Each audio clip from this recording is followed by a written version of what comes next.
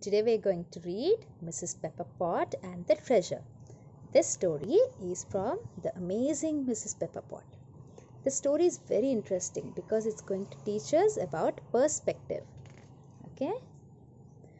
It was a fine sunny day in January and Mrs. Pepperpot was peeling potatoes at the kitchen sink. Meow, said the cat. Meow yourself, answered Mrs. Pepperpot. Meow, said the cat again. Mrs. Pepperpot wiped her hands and knelt down beside the cat. There's something you want to tell Mason there, Puss. It's too bad. I can only understand when I have shrunk to the size of a pepper pot. She stroked the cat, but Puss didn't purr.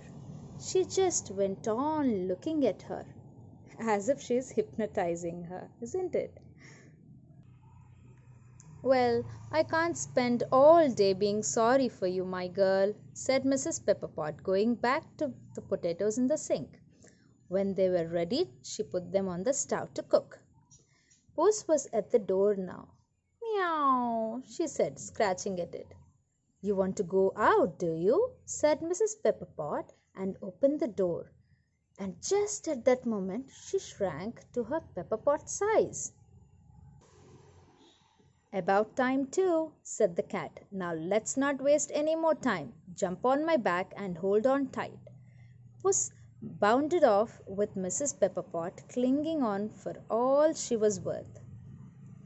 The first danger is just around the corner, Puss said. So sit tight and don't say a word.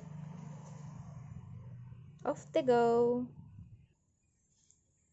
All Mrs. Pepperpot could see was a single birch tree with a couple of magpies on it. The birds seemed to be as big as eagles to her now, and the tree was like a mountain. There's the cat! There's the cat! the magpie screamed. Let's nip her tail! Let's pull her whiskers! And they swooped down, skimming so close over Mrs. Pepperpot's head she was nearly blown away. But Puss took no notice at all. She kept on down the hill, and the magpie soon tired of the game. See how fast the cat is running. That's that, said the cat. Now we must watch out for the snowballs. We have to cross the boys' playground. So if any of them aim at you, duck behind my ears and hang on. Mrs. Pepperpot looked at the boys. She knew them all. She had given them sweets and biscuits.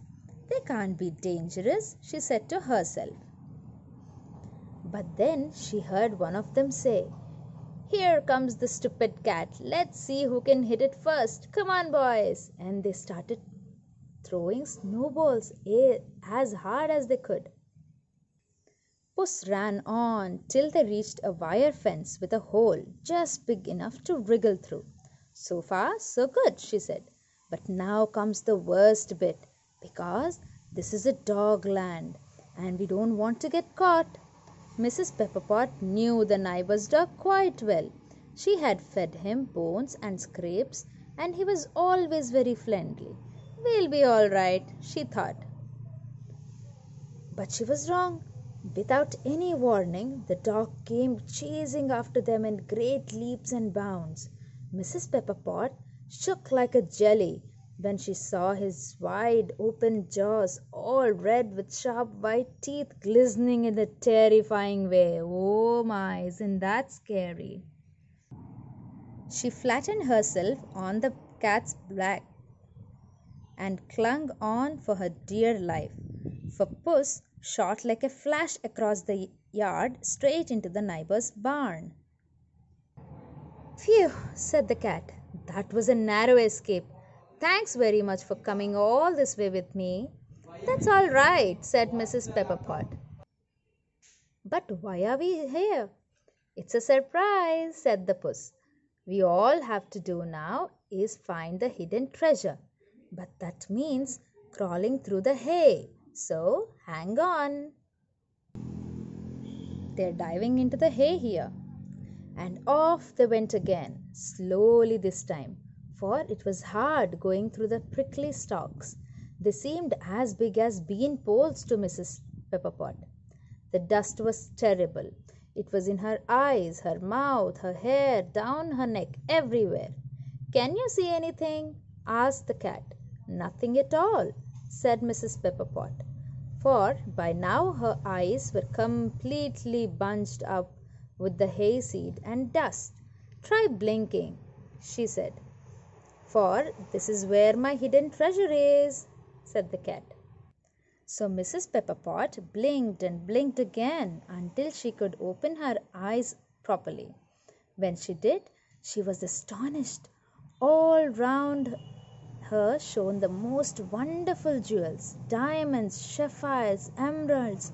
They glittered in every hue. There you are! Didn't I tell you I had hidden treasure for you? said the cat. But she didn't give Mrs. Pepperpot time to have a closer look. We'll have to hurry back now or your potatoes will be spoiled. So they crawled back through the hay and just as they came out into the daylight, Mrs. Pepperpot grew to her ordinary size. She picked the cat up in her arms and walked across the yard. The dog was there, but what a different dog! He nuzzled Mrs. Pepperpot's skirt and wagged his tail in a friendliest way. Through the gate they came where the boys were playing. Each one of them nodded to her politely and said, Good morning. Then they went up on the hill. There were the magpies in the birch tree, but not a sound came from them. When they got to the house, Mrs. Pepperpot put the cat down and hurried indoors to rescue her potatoes. Then she went back down the hill, through the gate to the neighbor's yard, and into the barn. She climbed over the hay till she found the spot where the hidden treasure lay. And what do you think it was? Make a guess before I turn the page. Ready? Four coal black kittens with beautiful shining eyes. There you go. Isn't it lovely? See you again with another story next time. Bye bye until then.